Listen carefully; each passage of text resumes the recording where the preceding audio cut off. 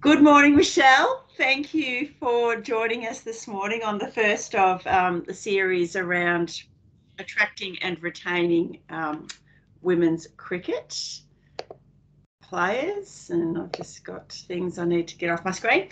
Um, yeah, on behalf of Leisure Networks, thanks for giving up your time. And just to introduce you, and I probably won't be able to remember all of your roles, but um, the main one that um, I you know, communicate with you mostly on is your role as a commissioner um, for AFL Barwon, but you're also an avid cricketer.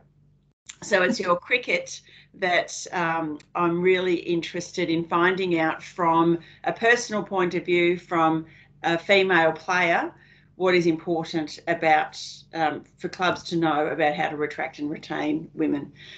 Now we'll start though. How did you get involved in playing cricket to, to begin with? Well, I played cricket. I suppose always as a kid, you know, you're always in the backyard and having a, a bit of a, a, a, run around all the time in summer, I suppose.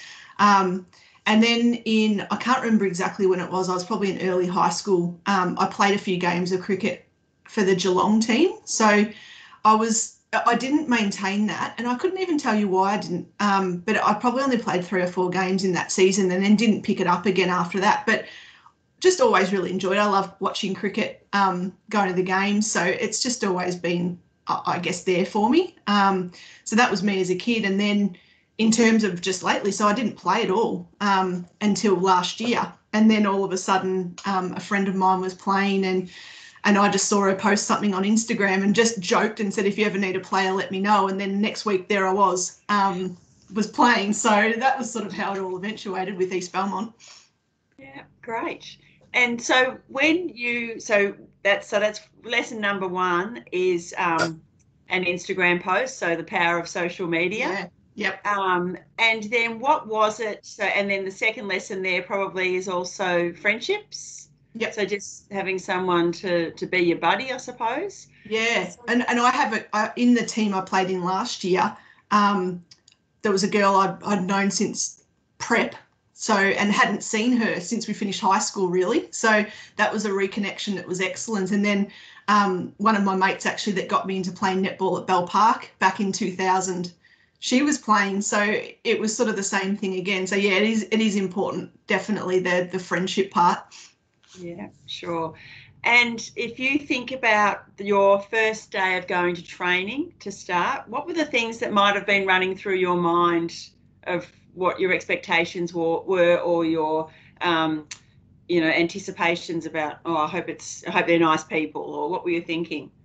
Yeah, look what it, it was. It was a bit nervous actually. I was I was I, I was feeling that I hadn't played forever, you know, fifteen or twenty years properly. So um, it was and and it, the the bit that grabbed me, I suppose, when I first walked into training, I think it was the Thursday night, was everyone was just so friendly. Um, our coaches were excellent. So, you know, they just made you feel part of it immediately. But there wasn't any pressure on how how good anyone was. Everyone was at different levels, um, and it was really just have a have a go. Um, you know, I knew I was going to be a bit of a ring in for the season, so um, for me it was just I'll just go out and, and have a have a bit of fun with it. Um, and the first training was excellent. It was just you know everyone, as I said, um, was really welcoming, and and the coaches were excellent in bringing you into the group immediately.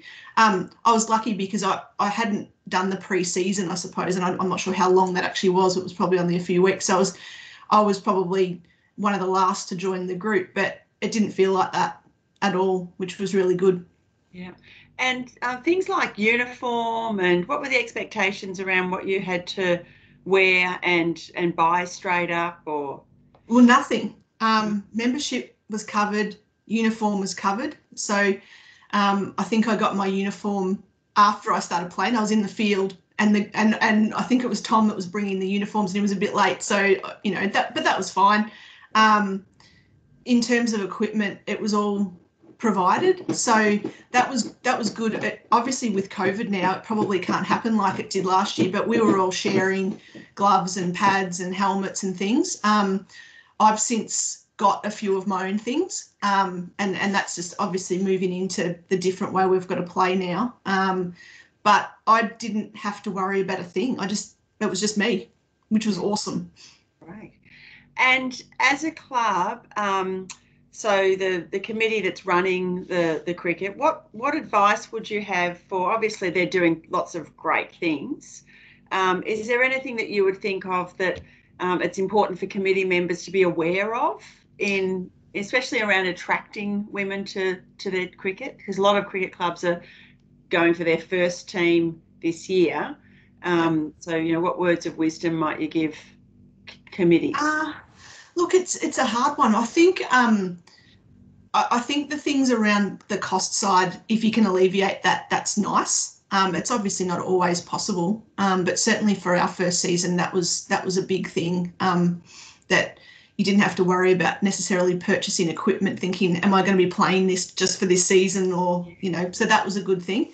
Um, I think the involvement, and I think this came from committee level as well. But there was one night where I went to training, um, and the the senior men's teams were training as well.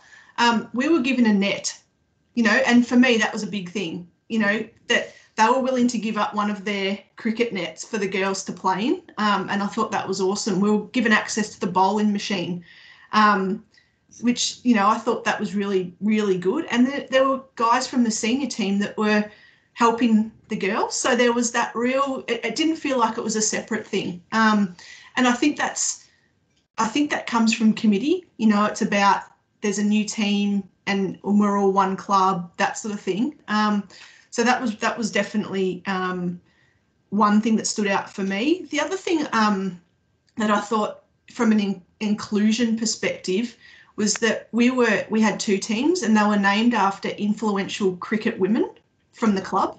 So there was that link um, back to the club and back to people that have contributed. So that was one. Um, and then about halfway through the season, they announced our playing numbers. So I was number 44 in terms of to ever played women's cricket at the club. So there was all of a sudden you felt like you were really part of it. You know, I was number 44 and I won't forget that. Um, so that was a really big thing too. Um, and that was all driven by the committee. Um, so there, there's a few things that I thought were really good going forward. Fantastic. That's they're great ideas, yeah. aren't they, for any club? Yep. Um, and really easy to do. It does that yeah. doesn't cost anything, but there was an identity then. I felt like I was, and I always will be part of that club. Yeah, yeah, that is brilliant. That is so good. Um, and then just lastly, is there any? Um, do you know of any women that are on the committee that are driving um, the cricket? Um, and is it is it one committee or is it two committees? Like, what's the structure? Do you know, or or as a player, you might not. I'm not hundred percent sure. I definitely know that there were um, that people within the teams that were on the committee. So that I, I don't know if it was necessarily separate. I don't think it was. Um, mm. I also know that there were um, you know girls that I was playing with that they were coaching junior teams. I mean, obviously, I think their kids were involved, but there was that continuity through juniors as well. Um, and there there definitely um, has been a call out for um, just I think the recent AGM they held that there was a call out for for us to get involved on the committee and they're really really wanting that to happen. So I think that there's been a few um, that have jumped on board, and I, I do know that one of the girls we played with last year is now an assistant coach of one of the teams too. So there's you know they're really trying to get that going. I think that's a hard one um, we've probably seen with the AFL um, women's and, and the girls teams locally mm. is that you want to try and get your female coaches involved as much as possible. Um, and it's about giving them the experience to, to do that because they probably haven't had that before. So to see Beck, um, you know, one of the players I play with now being in an assistant coaching role, I thought that was that was a really good thing too. Yeah, brilliant. And it's a great opportunity, isn't it, to for for women um, under the the mentorship maybe of mm. of people who are more experienced and probably they're going to be blokes in the club. Yeah. Um, but as long as that's um, identified and that there is a um, a real proactive approach to skilling them up, then um, that's sort of what you'd be after.